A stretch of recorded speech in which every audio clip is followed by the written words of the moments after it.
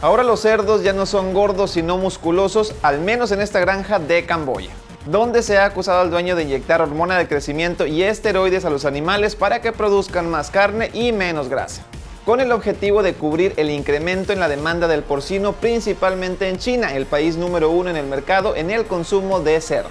Esto no se ha comprobado, pero las fotos y videos se han viralizado por la extraña apariencia de los cerdos musculosos.